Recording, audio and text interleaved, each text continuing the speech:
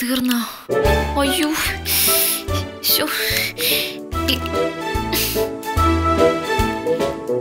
ദിനേശ് ചേട്ടനെ കൊണ്ട് ഞാൻ തോറ്റു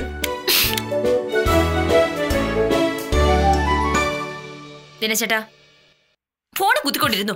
കുറച്ച് വിശക്കുന്നു പറഞ്ഞ് അങ്ങോട്ട് വാ. എന്താ കാര്യം?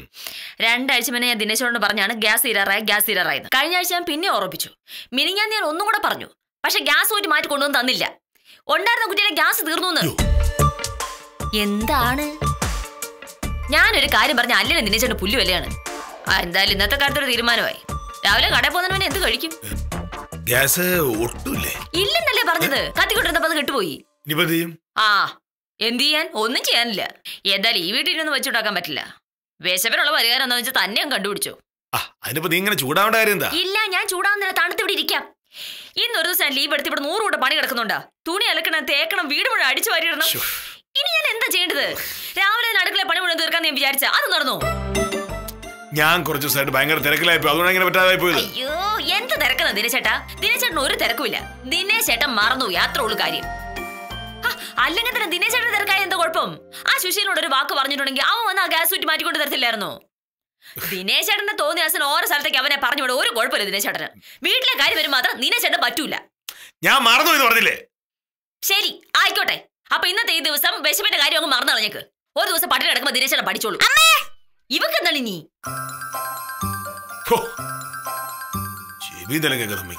എന്താ നിന്റെ പ്രശ്നം?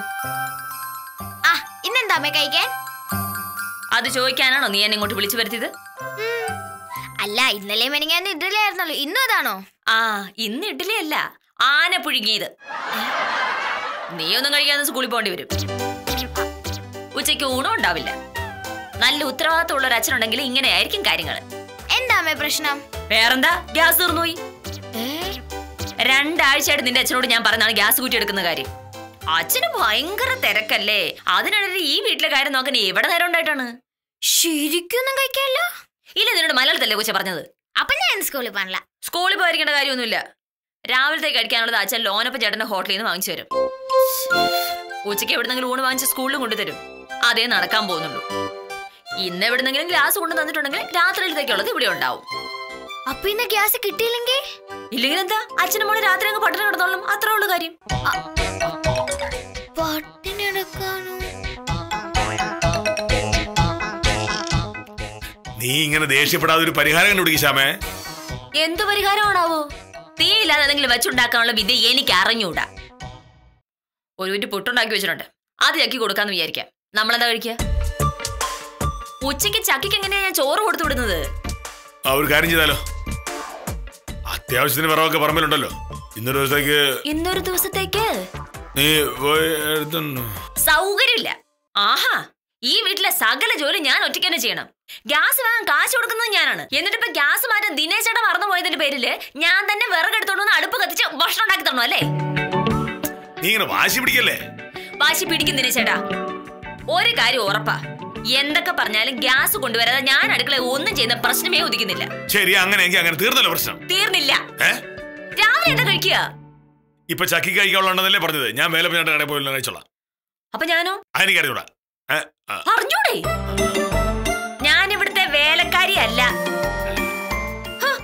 അച്ഛനും മോക്ക് മാത്രം കഴിക്കാൻ കിട്ടിയാ മതി. എന്റെ കാഴ്ച എന്താ തീരുമാനം പറ. നിനക്കിപ്പോ എന്താ വേണ്ടത്? എന്ന് വെച്ചാ? നിനക്ക് എന്താ വേണ്ടെന്ന് പറഞ്ഞാൽ ഞാൻ മേടിച്ചു തീർന്നല്ലോ പ്രശ്നം. അപ്പൊ ഉച്ചയ്ക്കോ? ഉച്ചക്കുള്ള ഞാൻ മേടിച്ച് കഴിച്ചോളാം. അ- അല്ല ഉച്ചയ്ക്ക് ചക്കിക്കുള്ള ഞാൻ മേടിച്ചു കൊടുത്തോളാം. എനിക്കെന്താന്ന്? ഉച്ചയ്ക്ക് മുമ്പ് ഗ്യാസ് കൊണ്ട് നിന്നാ പോരെ? നിനക്ക് ഇഷ്ടമുള്ള ഉണ്ടായി കഴിക്കാലോ? ഉം, കൊണ്ടുവന്ന് തരണം. അല്ലാതെ ഇന്ന് അവളോട് പട്ടിണി ഇരിക്കട്ടെ എന്ന് വിചാരിക്കരുത്. അങ്ങനെ എത്ര ദിവസം നീ പട്ടിണി എടുത്തിട്ടുണ്ട് ആ ഞാൻ പട്ടിണി ഇരുന്നിട്ട് അതെന്റെ മിടുക്കോട്ട്. അല്ല ദിനേശന്റെ സഹായം കൊണ്ടല്ല. നിനക്ക് ഇപ്പൊ രാവിലെ എന്താ വേണ്ടത്? ഓഹ് എന്തെങ്കിലും മതി. വിശപ്പ് മാറണം. ജീവൻ നിലനിർത്തണം. അത്ര ഉള്ളു കാര്യം. ഇനി മേൽ ഗ്യാസിനായിട്ട് ഇവിടെ കേൾക്കരുത് കണ്ടോ? എന്നാണാവോ കുറച്ച് ഉത്തരവാദിത്വ ബോധം ഉണ്ടാവാൻ പോണേ? ദിനേശനെ കണ്ടിട്ട് കുറച്ച് ദിവസം ആയല്ലോ. അവൻ ഇങ്ങോട്ടൊന്നും വരാറില്ല സുശീല? ഹാ പിന്നെ ദിനേശിന്റെ ഒരു ഒമ്പത് മണിയാകുമ്പോഴത്തേക്ക് വരും. ചുരുക്കി പറഞ്ഞ കടയുടെ ഭരണം മുഴുവൻ നിനക്കാ. ഏ? ശമ്പളം കൃത്യമായിട്ട് കിട്ടുന്നുണ്ടല്ലോ അല്ലേ? പിന്നെ ശമ്പളമൊക്കെ നല്ല കിറു കൃത്യമായിട്ട് ദിനേശേട്ടൻ തരും. എല്ലാ മാസവും ഒന്നാം തീയതി ശമ്പളം എടുത്ത് എന്റെ തരും. എത്രയാണ് നിന്റെ ശമ്പളം? എന്ത് ചോദ്യ പ്രകാരം ചേട്ടാ? പെണ്ണുങ്ങളോട് പ്രായവും ആണുങ്ങളോട് ശമ്പളം ചോദിക്കാൻ പാടില്ല എന്നാ പ്രമാണം. ആ വരുന്ന ആരാ നോക്കിയേ? ആ. ദിനേശിന് നൂറായുസ അല്ലെങ്കിൽ തന്നെ അവന്റെ മുഖത്ത് നോക്കിയാൽ അറിയാം. രാജയോഗമാ. അതാ. ദിനേശ് എന്താ നേരത്തെ? എനിക്ക് ഈ പഞ്ചായത്ത് ഓഫീസർ ഒന്ന് പോകണം അതിനുമുമ്പ് മെമ്പർ ശിവൻകുട്ടി ഒന്ന് കാണണം. ഓ. നീ പെട്ടെന്ന് വേലപ്പഞ്ചായത്തിന്റെ കടയിൽ നിന്ന് ഒരു മസാല ദോശ വാങ്ങിട്ട് വീട്ടിൽ കൊണ്ട് കൊടുക്കുക വീട്ടിൽ ആർക്ക്? ശ്യാമയ്ക്ക് അല്ലവനാർക്ക അതെന്തോ അങ്ങൊരു പരിപാടി. നീ കൂടുതൽ ഭാരപ്പെട്ട കാര്യം അന്വേഷിക്കണ്ട. പറയുന്നത് കേട്ടാൽ മതി. പെട്ടെന്ന് ഒരു മസാല ദോശ വാങ്ങി വീട്ടിൽ കൊണ്ട് കൊടുക്കുക അല്ല അപ്പൊ കട? ആ പ്രവർത്തനേട്ടാ ആ. സുശീലം വരുന്ന ഒരു അരമണിക്കൂർ കട നോക്കിക്കൊള്ളേ പിന്നെന്താ? ഞാൻ നോക്കിക്കോളാം. ആ അപ്പൊ ശരി. ഓക്കെ. ആ. എന്താ പതിവില്ലാതെ മസാല ദോശയൊക്കെ? ആ ചെല്ലെന്നേ. ഇതാ നിനക്ക് വിവരമില്ലെന്ന് പറയുന്നത് ഭർത്താവ് സ്നേഹപൂർവം ഭാര്യയ്ക്ക് മസാല ദോശ വാങ്ങി കൊടുക്കുന്നത് എപ്പോഴാ? എപ്പോഴാ? മെനങ്ങാന്ന് ശ്യാമളയെ കണ്ടപ്പോഴേ എനിക്ക് തോന്നിയതാ. ആകെപ്പാടൊരു വിളർച്ചയൊക്കെ ഉണ്ട്. പിന്നെ അവളുടെ മുഖത്ത് നോക്കി. ഗർഭിണിയാണോ എന്ന് ചോദിക്കുന്നത് ശരിയല്ല എന്ന് തോന്നിയിട്ടാ ഞാൻ ചോദിക്കായിരുന്നു. ഗർഭോ? പിന്നല്ലാതെ. ദിനേശന്റെ മുഖത്ത് ആ കള്ള ചിരി കണ്ടില്ലേ? നാണം കൊണ്ടാ. ഷടാ എന്നിട്ടാ ആ മനുഷ്യ ഇക്കാര്യം എന്റെ അടുത്ത് പറഞ്ഞില്ലല്ലോ? ഇങ്ങോട്ട് വരട്ടെ ഇങ്ങോട്ട്. ശ്യാമളേജി ആ. നീയായിരുന്നു. എന്താടാ? ഒന്നുമില്ല. ഒന്നുമില്ലേ? എന്നാലും എന്നോടെങ്കിലും പറയായിരുന്നു. എന്ത്? എന്റെ ശ്യാമളേച്ചി ഒക്കെ ഞാൻ അറിഞ്ഞു. കൺഗ്രാറ്റുലേഷൻസ് വേലപ്പച്ചേട്ടന്റെ ഹോട്ടലിലെ മസാല ദോശയാ. ദിനേശേട്ടനോടെ ദിനേശേട്ടൻ പഞ്ചായത്ത് ഓഫീസിൽ പോയതാ. ഇതിവിടെ കൊണ്ട് തരാൻ പറഞ്ഞു. ഉത്തരവാദിത്വമില്ലാതെ പെരുമാറിയ ഇങ്ങനെയൊക്കെ ഉണ്ടാവും നിന്റെ ആശാനോട് പോയി പറഞ്ഞേക്ക്. ഉത്തരവാദിത്വമില്ലായ്മയോ? ശ്യാമളേച്ചി എന്തോ അങ്ങനെയൊക്കെ പറയുന്നേ. പിന്നെ ഞാൻ എങ്ങനെ പറയണം? കയ്യിലിപ്പോ മോശമായതുകൊണ്ടാണല്ലോ ഇപ്പൊ ഈ മസാല വെച്ചിട്ട് കാശ് പോയത്. ഉം, നീ ചെല്ല. എനിക്ക് കുറച്ച് ജോലിയുണ്ട്.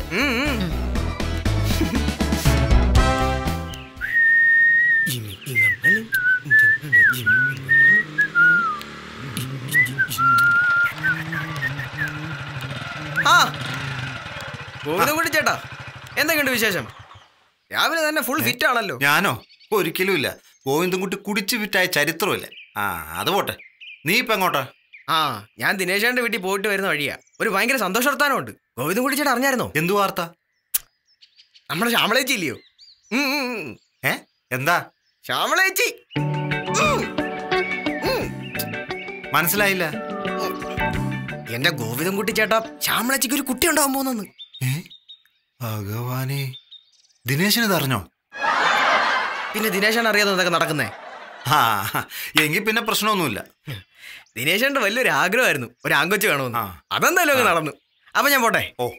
ആ ഗോവിന്ദൻകുട്ടി ചേട്ടാ ഈ സംഭവം ദിനേശൻ ആരും പറഞ്ഞിട്ടില്ല. നാടൻ കൊണ്ടാവും. പക്ഷെ നമുക്ക് നോക്കേണ്ട. കാര്യമില്ലല്ലോ. ഇങ്ങനത്തെ ഒരു സംഭവം ഉണ്ടായിട്ട് പത്ത് പേര് അറിഞ്ഞില്ലെങ്കിൽ പിന്നെ നമുക്കെന്തോ സന്തോഷം? എന്നാ വരട്ടെ എന്നാ? ആ. ഉം. ദിനേശൻ നമ്മൾ വിചാരിക്കുന്നേക്കാൾ മിടുക്കനാണല്ലോ. വിലാസേച്ചനോട് കാര്യം പറഞ്ഞേക്കണേ. ആ, അത് ഞാൻ ഏറ്റു. ആ ഇപ്പൊ ശരിയാക്കി തരാം.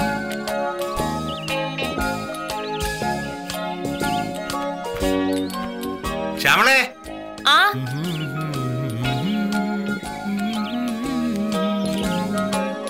ആദ്യത്തെ കൺമണി ആണായിരിക്കണം. അച്ഛനെ പോലെ ഇരിക്കണം. മുഖം അമ്പിളി പോലെ വിളങ്ങണം. ആദ്യത്തെ കൺമണി ആണായിരിക്കണം. ചേട്ടാ. അ- ആരാ ഇത്? ശ്യാമളയോ? എന്തൊക്കെയുണ്ട് വിശേഷങ്ങൾ? ഗോന്നുകുടിച്ചേട്ടൻ ഗോന്നുകുടി ചേട്ടൻ എന്താ രാവിലെ? ദിനേശനം കടയിൽ പോയിരിക്കുക അയ്യോ ഞാൻ വന്നത് ദിനേശനെ കാണാനല്ല ശ്യാമളെ കാണാനാ. എന്താ വിശേഷം? എനിക്ക് വലിയ സന്തോഷമായി ശ്യാമളെ വലിയ സന്തോഷം. എന്താ കാര്യം ചേട്ടാ? നീ ഒരു നല്ല കൊച്ചാ. എന്റെ വീട്ടിലൊരുത്തി ഉണ്ടല്ലോ വിലാസിനി. അവളെ പോലെ അഹങ്കാരിയല്ല നീ. ശ്യാമളയെ ദൈവം അനുഗ്രഹിക്കും. ഇപ്പൊ ഗോന്നുകുടി ചേട്ടന്റെ പ്രശ്നം എന്താ? ഒക്കെ ഞാൻ അറിഞ്ഞു സന്തോഷമായി. വളരെ സന്തോഷം. ഈ ഒരൊറ്റ സന്തോഷത്തിന്റെ പേരിൽ ഇന്ന് ഞാനൊരു നാല് പെഗ് കൂടി അടിക്കും. വരട്ടെ. ഏ?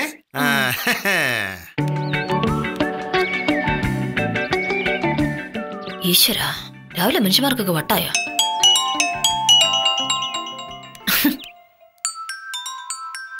ആ ദിനേശേട്ടാ. ആ ശമേ ഗ്യാസ് ഇട്ടിട്ടുണ്ട് പുഷ്പാതം കൊണ്ടുവരും. ആ. ആ സുശീല കൊണ്ടുവന്നില്ലേ ആ വന്നായിരുന്നു. മസാല ദോശ വാങ്ങിക്കൊണ്ട് വന്നത്. ആ അത് ഞാൻ പറഞ്ഞോട്ടെ. ദിനശേട്ടൻ വല്ലതും കഴിച്ചോ? ഹലോ എന്റെ ആരും അന്വേഷിക്കണ്ട? വിശക്കുമ്പോ ഭക്ഷണം കഴിക്കാനൊക്കെ എനിക്കറിയാം. എന്റെ പ്രശ്നം ഗ്യാസ് ആയിരുന്നല്ലോ ആ പ്രശ്നം തീർന്നല്ലോ. ശ്യാമളജി ഉം. പുഷ്പാങ്കതം വന്നെന്ന് തോന്നുന്നു. ഞാൻ പിന്നെ വിളിക്കാം. ആ ദിനേശേട്ടാ. വേറൊരു കാര്യമുണ്ട്. ഇവിടെ നല്ല രസമുള്ളൊരു കാര്യം നടന്നു. എന്ത് കാര്യം? ആ ആദ്യം ഞാൻ പിന്നെ പറയാം. നേരിട്ട് പറയേണ്ടതാ. ദിനേശേട്ടൻ വൈകിട്ട് വരുമ്പോ ഞാൻ പറയാം.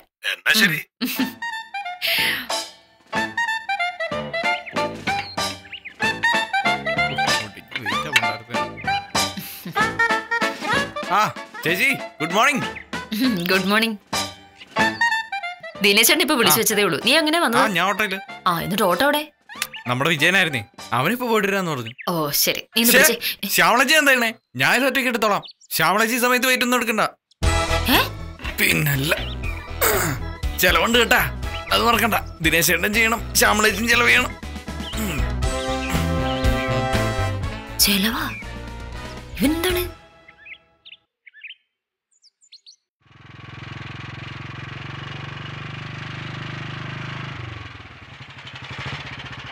ആഹാ. പ്രഭാരം ചേട്ടൻ പോയില്ലായിരുന്നു? ഇല്ല.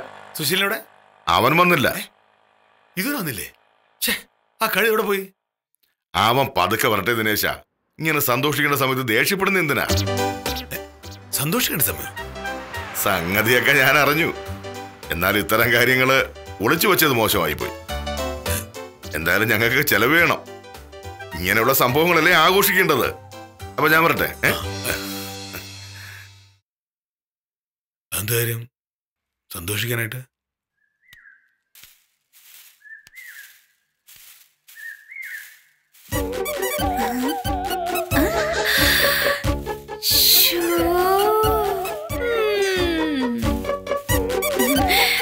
ശ്യാമളെ? ആഹാ വില്ലാസിനിയോ? എന്തൊക്കെയുണ്ട് വിശേഷം? ഓ വിശേഷം നമുക്കൊന്നും അല്ലല്ല. ശ്യാമളക്കല്ലേ? എനിക്ക് എനിക്കെന്ത് വിശേഷം ഉം,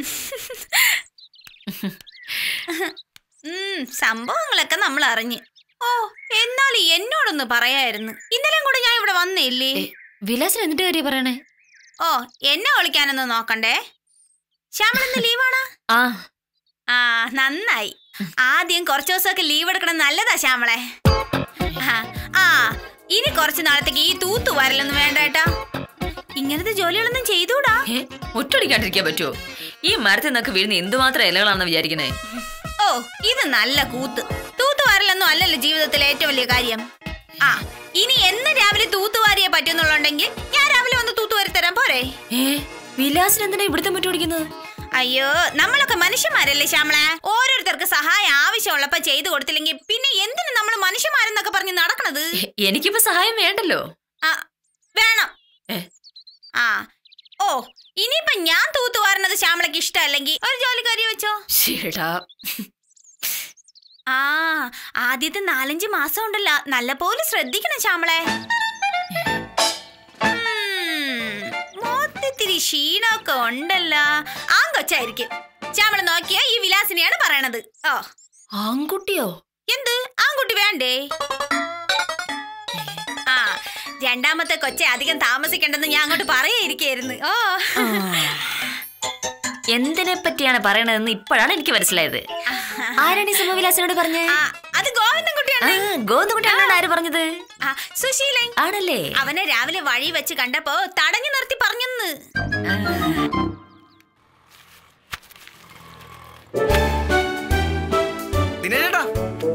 ആ.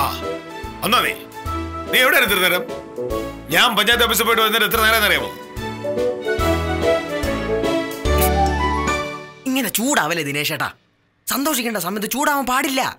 സന്തോഷിക്കേണ്ട സമയം? ആ എന്നെ വിളിക്കാനൊന്നും നോക്കണ്ട. എന്നാലും നിങ്ങളുടെ വീട്ടിലൊരു അംഗത്തിനെ പോലെ കഴിഞ്ഞിട്ട് എന്നോട് ഇത് വേണ്ടായിരുന്നു കേട്ടോ. അത് ഞാൻ ശ്യാമളച്ചി അടുത്ത് പറഞ്ഞിട്ടുണ്ട്.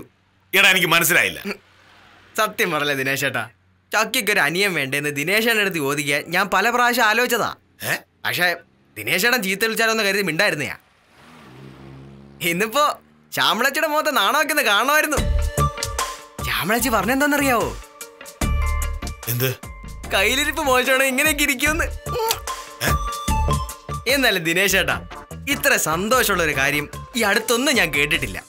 എനിക്ക് വിശ്വസിക്കാനാ പറ്റുന്നില്ല. നിന്നോട് ശ്യാമ പറഞ്ഞു. പിന്നല്ലാതെ. അപ്പോ ചെലവുണ്ട് കേട്ടോ. ചെലവേ ഇപ്പൊ എന്താടാ നീ ഒരു കാര്യം ചെയ്യ്. ഇന്നത്തെ ദിവസം കടയുടെ ഫുൾ ചാർജ് നടക്കാം. ഞാൻ നാളെ വരാം. അപ്പൊ ശരി. ആ. എന്നെ അറിയിക്കാതിരിക്കാന്ന് കരുതിയതാവും. പിടിച്ചപ്പോ ആളങ്ങ് മുങ്ങി. പക്ഷെ ദിനേശേട്ടാ അങ്ങനൊന്നും ഞാൻ വിടൂല.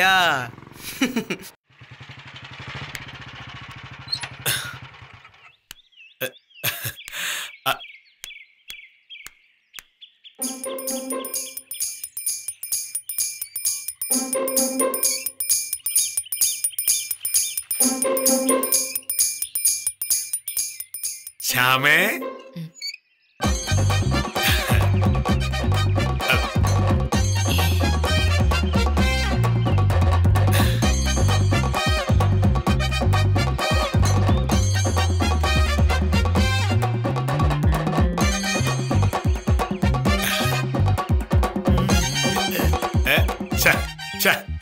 എന്നാൽ നീ ആളുകളല്ലേ. എന്നോടൊരു വാക്കുപോലും പറഞ്ഞില്ലല്ലോ.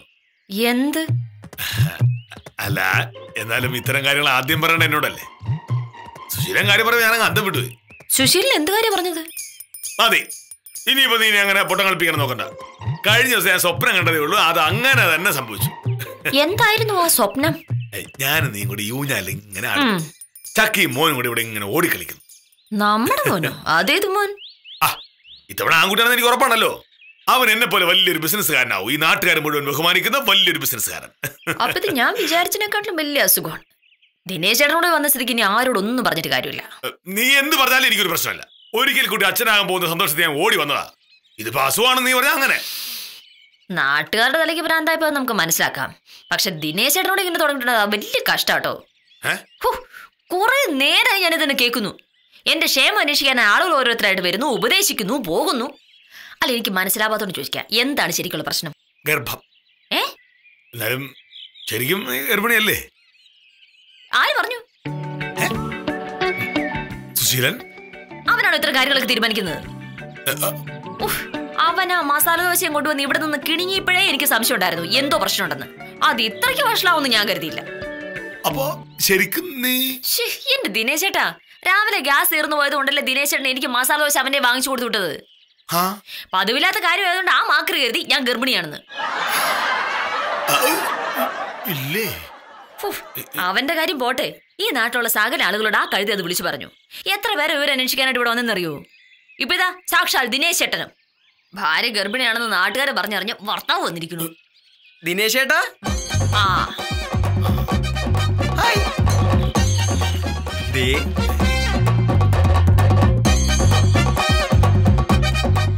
ലഡ്ഡു. ദാ, അരവിന്ദന്റെ ബേക്കറിയിൽ നിന്ന് വാങ്ങിയ ലഡ്ഡുവാ. നിങ്ങളുടെ സന്തോഷമാണല്ലേ എന്റെ സന്തോഷം. സന്തോഷം വരുമ്പോ മധുരം കഴിച്ചില്ലേ പിന്നെ എന്ത് സന്തോഷം? ലഡ്ഡു എടുക്കൂ ലഡ്ഡു എടുക്ക്. ഇത് മൊത്തമായിട്ട് ഞാൻ അങ്ങനത്തെ കുഴപ്പമുണ്ടോ? ഒരു കുഴപ്പമില്ല. നിങ്ങൾക്ക് വേണ്ടി ഞാൻ മേടിച്ചതാ. എന്റെ ജീവിതത്തിൽ എല്ലാം ഈ കുടുംബമാ നിങ്ങൾക്ക് വേണ്ടി ഞാൻ എന്ത് ചെയ്യും? അല്ല അത് മനസ്സിലായി. നീ തന്നെ. ഒന്ന് പിടിച്ചേ. കഴിയോ ആ ഒന്ന് അയ്യോ! ദിനേശ് ചേട്ടാ. സന്തോഷം വരുമ്പോ ഞാനിങ്ങനെ. ശ്യാമളേച്ചി. എടാ ഒരു മസാല ദോശ വാങ്ങി കൊടുക്കാൻ പറഞ്ഞതിന്റെ പേരിൽ നീ എന്തൊക്കെയാണ് ഈ നാട് പറഞ്ഞോണ്ടത് മസാല ദോശ തിന്നുന്ന മനുഷ്യർക്ക് കൂടെ ഗർഭമാണ് നിന്നോട് ആരാ പറഞ്ഞ? അപ്പൊ ശ്യാമളേച്ചി പ്രസവിക്കില്ലേ? അല്ല ശ്യാമളേച്ചിക്ക് ഗർഭമില്ലേ? ഇനി മേൽ ഗർഭം എന്നൊരു വാക്ക് വീട്ടിൽ വീട്ടിൽ കേട്ടുവരുന്നു പിന്നെ നാട്ടുകാരുടെ മുഴുവൻ നീ തന്നെ പറയണം ഒക്കെ നീ തന്നെ പറഞ്ഞുണ്ടാക്കിയ കഥയാണെന്ന്. മനസ്സിലായാലോ പോടാ. അതെ. ഒരു ലഡു വരുമോ എന്തായാലും ഞാൻ വാങ്ങിച്ചോണ്ട് വന്നില്ലേ? ഓ ഇവനെ കൊണ്ട് കൊണ്ടു താങ്ക്സ് അവൻ നാട്ടുകാരോട് എന്തൊക്കെയാണോ പറയാൻ പോകുന്നത്? ദൈവത്തിന് മാത്രം അറിയാം.